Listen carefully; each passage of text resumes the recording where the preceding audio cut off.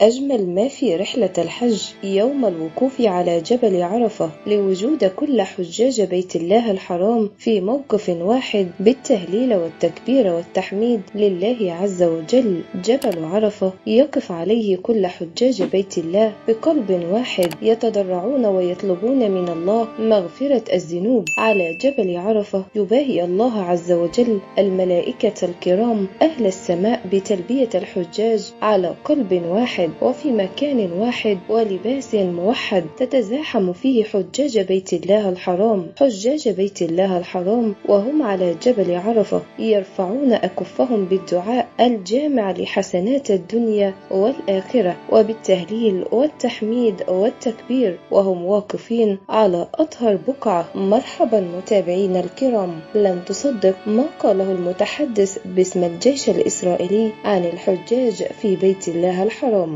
نشر أفيخاي أدرعي المتحدث باسم الجيش الإسرائيلي للإعلام العربي تغريدات بمناسبة يوم عرفة ألقى فيها الضوء على التشابه بين أعياد البشر وقال من رسائل الله الواحد الأحد التشابه والتزامن في أعياد البشر لا سيما اليهود والمسلمون فمع انتهاء الصيام اليهودي بمناسبة ذكرى خراب الهيكل المقدس يبدأ المسلمون صيام عرفة ما أعظم حكمته وأساليبه للجمع بين البشر فهل يتعظ منها الإنسان؟ وفي تغريدة منفصلة قال اليوم هو يوم عرفة الحج الأكبر لدى الإخوة المسلمين حيث تغفر فيه الذنوب والخطايا وتعتق فيه الرقاب من النار وأيضا يوم النحر. لقول النبي صلى الله عليه وسلم إن أعظم الأيام عند الله تبارك وتعالى يوم النحر. وأضاف لحجاج بيت الله نتمنى لكم حجا مقبولا ولكافة المحتفلين صلاة مستجابة وذنبا مغفورا ولكل الخصوم عسى أن يحل عليكم سلاما وخيرا ومعرفة فمن غير الانفتاح لا يمكن التلاقي وبالتالي التعايش فهذا مطلب الله عز وجل الحج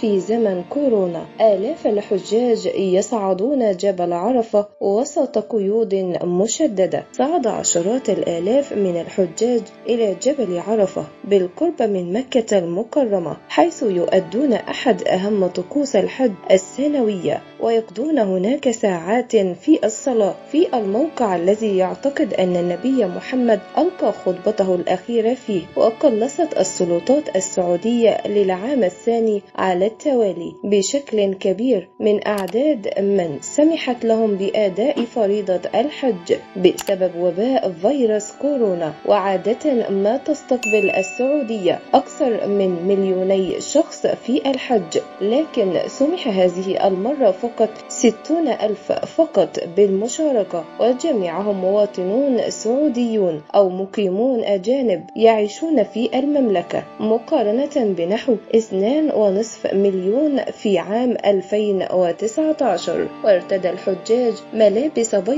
وحملوا مظلات واقية من شمس الصيف الحارقة.